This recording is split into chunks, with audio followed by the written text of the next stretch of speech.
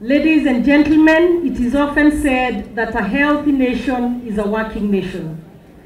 The health sector over the last 10 years of devolution has taken the lion's share of the entire Nakuru County budget with an average of 35%.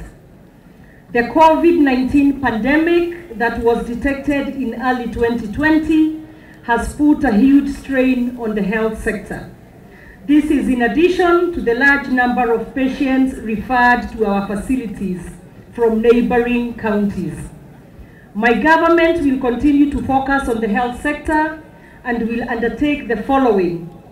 Promotion and redesignations of healthcare workers. Healthcare workers serving on contract will be confirmed as permanent and pensionable.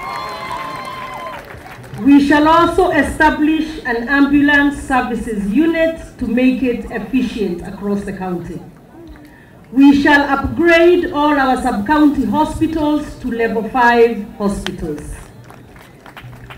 And we shall develop through public and private initiative a level 4 hospital as well, level 4 hospitals as well. Deploy a robust ICT system to manage patients in health facilities and essential medical supplies and ensure transparency in resource utilization.